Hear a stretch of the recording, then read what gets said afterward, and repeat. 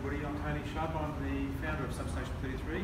Substation 33 is electronic waste recycling business in Logan, in Queensland. Um, Substation 33 collects, disassembles, repurposes, makes things out of electronic waste. But our DNA, what we what we exist for, is what we do.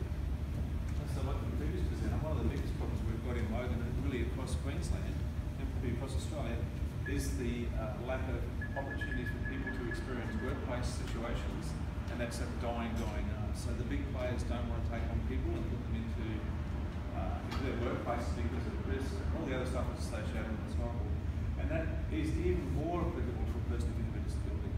So at substation we have seven mini substations scattered around the local special schools, and in those mini substations, the young people with disabilities learn how to demanufacture electronic waste on site in grades 9 and 10 In grades 11 and 12, they come to the substation and they pull apart the electronic waste in their factory funky things like build electric bikes and 3D printers and extruders and, and do all sorts of weird wonderful things like that.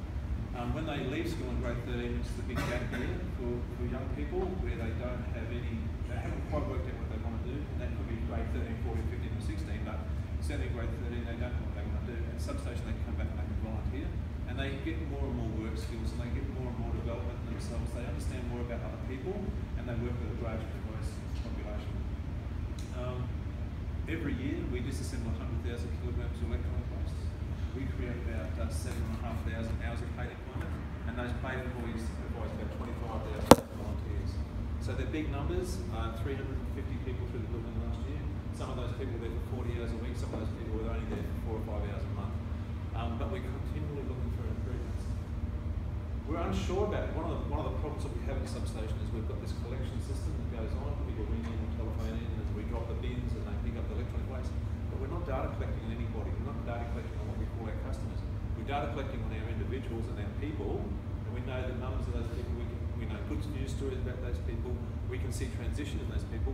But we're not doing anything for our customers. So potentially the people in this room today that are going to drop electronic waste, we're not interfacing with them at all. It is just purely commercial transaction where we pick up electronic waste and we bring the electronic waste back pull it apart. No money changes hands, but nor does any traffic, nor does any emails, nor does any reward system. So what we're trying to do is maybe build some sort of reward system. We know the numbers. We know that a thousand kilograms of electronic waste will produce 2.5 hours of paid employment. Then will supervise, you know, 75 hours of, of volunteer work. But we're not reporting it back to people. We think we think that people want to give to substation for a couple of reasons, or one or two reasons. One would be an environmental solution to the electronic waste. So the less than 3% of what we collect ends up in landfill. Everything else we repurpose, rebuild, recycle, or sell as a commodity. So the steel, the plastic, the aluminium, and all that, all the commodities, what we call it. Or they could be doing it for social reasons. So they could be doing it because they know a person with a disability, or they know somebody's struggling in the workplace, and they want to give them the opportunity to gain so what we want to do is to have some sort of portal, uh, app, or something where we can give that information back to people. We can use it as a collection tool as well, so people can collect into it. We can give that to the driver. The driver can go on there. Then when we get the weight, then we can report back to the people, back to our customers, about what that weight of computers or televisions did for a group of people.